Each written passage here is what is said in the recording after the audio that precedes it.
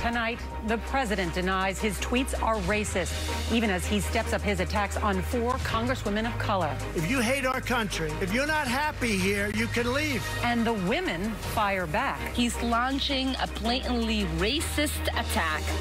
Also tonight, families living in fear of being... New Yorkers are being warned more blackouts could be coming this summer.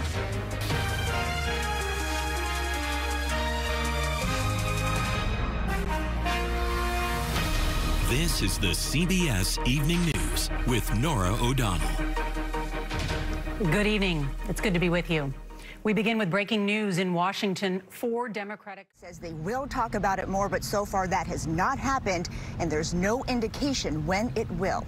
All right, Weijia Jiang, thank you. Also at the White House tonight is Major Garrett, and he's been covering Mr. Trump since he began his first presidential campaign. The white nationalist who killed a protester with his car in Charlottesville, Virginia. Ola Lenghi joins us now. So Epstein wants to stay in his $77 million townhouse. How would that work? Well, ultimately, it'll be up to the judge, Norah. But uh, his legal team says that he has offered to pay for armed guards at the townhouse. For Mola, thank you.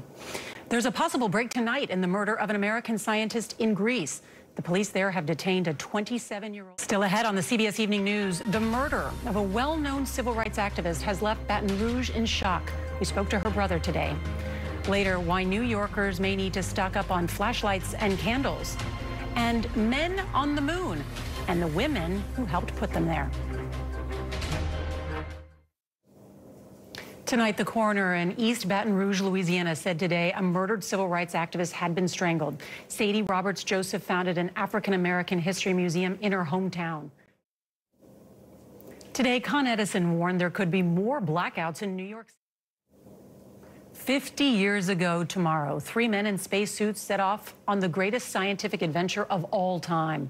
As the astronauts of Apollo 11 headed to the moon, the women, women can. And tomorrow night, we will be reporting from the Kennedy Space Center and bring you a primetime special, Man on the Moon, at 10, 9 Central. For all of us at CBS News, I'm Norah O'Donnell. Good night.